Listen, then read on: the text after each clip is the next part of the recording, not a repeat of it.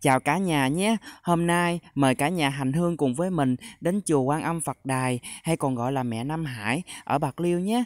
Và đoàn mình xuất phát đi từ 8 giờ sáng và đến nơi là khoảng lúc 11 giờ trưa.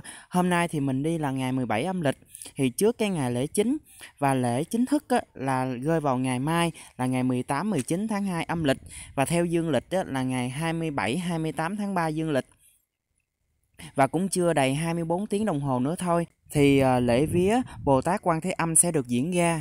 Và không khí ở đây cũng đang bắt đầu nhộn nhịp rồi đó. Còn các bạn thì sao nè? Các bạn hãy nhanh chóng ờ, thu xếp thời gian công việc để đến đây ờ, để mà đảnh lễ Bồ Tát Quan Thế Âm ở Bạc Liêu nhé.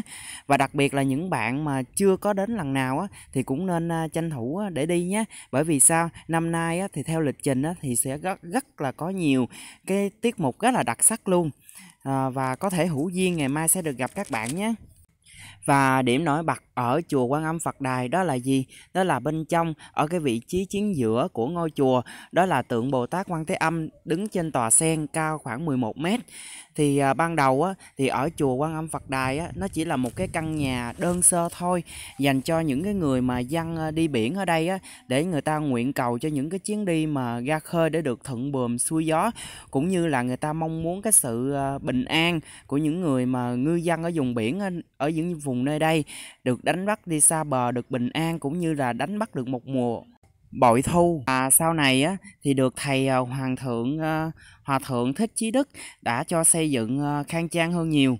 Và địa điểm này á, thì cách thành phố bạc liêu á, khoảng 8 cây cây số. Và phương tiện di chuyển đến đây cũng rất là thuận tiện nhé và mời cả nhà cùng à, theo chân mình đi tham quan cũng như là cúng viếng lễ ở chùa Quan Âm Phật Đài nhé.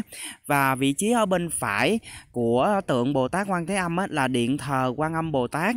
Và bên trong á, ở vị trí ở chính giữa là thờ à, tượng Thiên Thủ Thiên Nhãn.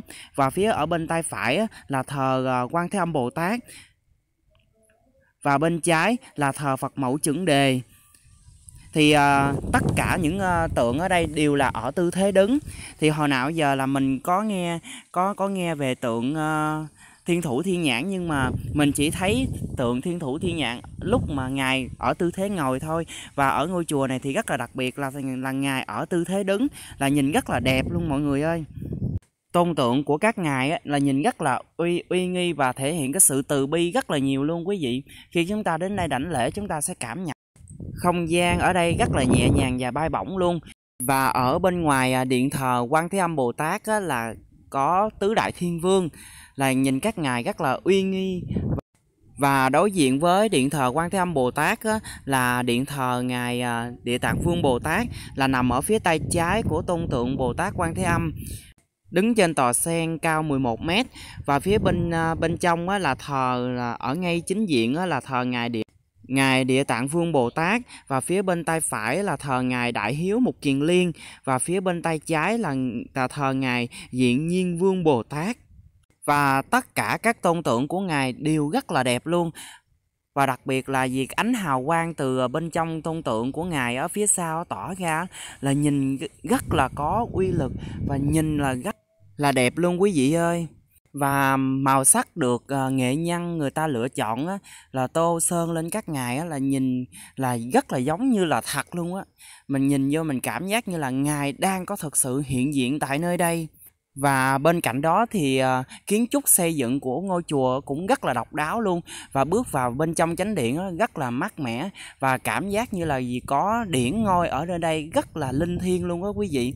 Mình uh, quỳ xuống mình đảnh lễ ngài địa tạng vương bồ tát mình cảm giác được cái là mình phải thật sự thành tâm sám hối những cái tội lỗi từ vô thủy kiếp mà mình gây ra và điểm độc đáo ở chỗ chùa Quan Âm Phật Đài cũng như là mẹ Quan Âm Nam Hải đó là cái vườn Lâm Tỳ Ni là thờ 32 tôn tượng ứng biến hóa thân của Bồ Tát Quan Thế Âm.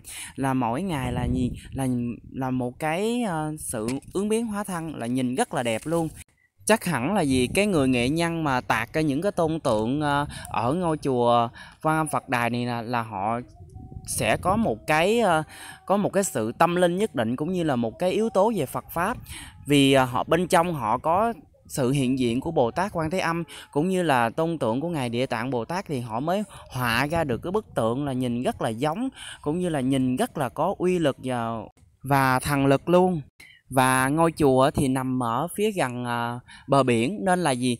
Khi mà ngồi ở cái vườn Lâm Tỳ Ni á, cũng như là ngồi ở dưới, ơ, ờ, bức tôn tượng của Bồ Tát Quan Thế Âm á, là chúng ta sẽ cảm nhận được là gì? Cái mùi gió biển mặn bay đến, nên là không gian ở đây đó rất là cực kỳ mát mẻ luôn. Thì tuy là ở dưới tôn tượng Bồ Tát Quan Thế Âm á, thì ngay tại chính diện là không có cây cối nhiều, nhưng mà khi vào cái khu vườn Lâm Tỳ Ni á, là có rất là nhiều loại cây, đặc biệt là cây, ờ, về cây bonsai và những loại cây kiểng mà những nghệ dân ở đây người ta uống cũng như là người ta tạo kiểu ra được nhiều hình hài á, nhìn là rất là đẹp luôn. Là mọi người sẽ có cơ hội được tham quan những loại loại cây kiểng ở đây và đặc biệt là ở đây á, người ta cũng trồng những loại hồ sen cũng như là hồ hồ bông súng ở đây á, là cũng mọc lên được những hoa sen trắng cũng như là hoa sen đỏ, nhìn cũng rất là đẹp luôn quý vị. Và còn chần chờ gì nữa đi nào, chúng ta hãy nhanh chóng, uh, vác ba ba lô cũng như là vali lên và chuẩn bị thu xếp hết tất cả công việc để mà đến đảnh lễ và vía ngài Quan Thế Âm Bồ Tát vào ngày mai là ngày 10 18 19 âm lịch nhé. Và hữu duyên sẽ gặp được các tất uh, ờ, mọi người ở đây để cùng nhau uh, đảnh lễ ngài Quan Thế Âm Bồ Tát để có được một cái chuyến đi tu tập được thành tựu và viên mãn. Và mình xin cảm ơn tất cả các bạn đã lắng nghe những gì mà mình chia sẻ.